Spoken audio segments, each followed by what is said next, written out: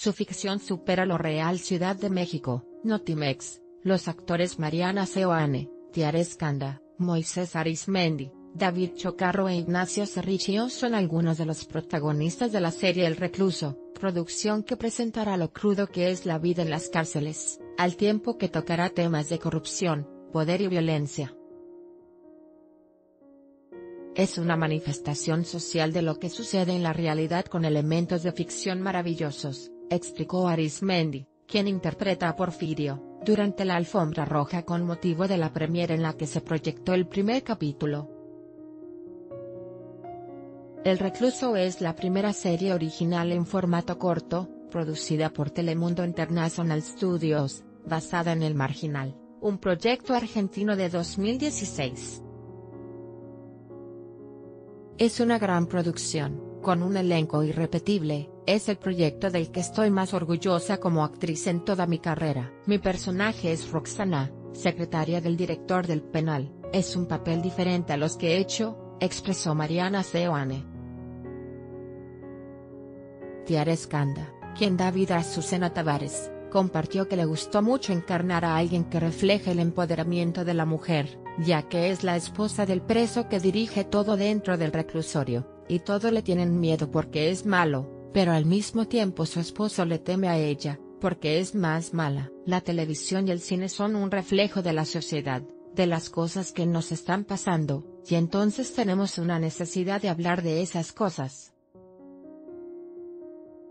Las mujeres hemos cambiado estas últimas décadas, a veces porque queremos o porque no nos queda de otra, dijo Tiare. Por su parte, el actor David Chocarro explicó que su papel Santito es alguien ambicioso, para su caracterización recurrió a muchos lugares, como Tepito.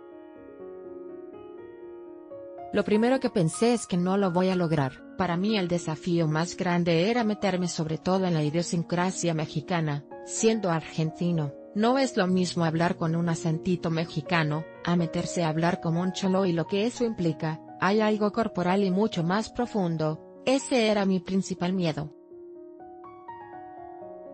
El personaje que interpreta David es considerado uno de los más difíciles y bien logrados de interpretar. Para ello tuvo que bajar 20 kilos, y como parte de su caracterización usa una dentadura postiza, que da la apariencia de tener los dientes destrozados. Pero conforme transcurre la historia hay una transformación completa en su físico. Marcos Santana, director del drama y presidente de Telemundo Global Studios, indicó que su objetivo es llevar a la televisión un trabajo de buena calidad, no se le puede engañar a la gente con cosas mal hechas, queremos llevar a la pantalla la realidad cruel y cruda que se vive en las cárceles. El recluso contará con 13 capítulos y se estrenará el próximo martes 25. La serie contará la historia de Lázaro Mendoza, Ignacio Cerrichio, quien ingresa a una prisión de máxima seguridad en México, La Rotunda, bajo una identidad falsa, acusado de un supuesto triple homicidio. Ahora como Dante Pardo su misión es infiltrarse en una peligrosa pandilla de presos y descubrir quién es el autor intelectual del secuestro de la hija de un juez estadounidense.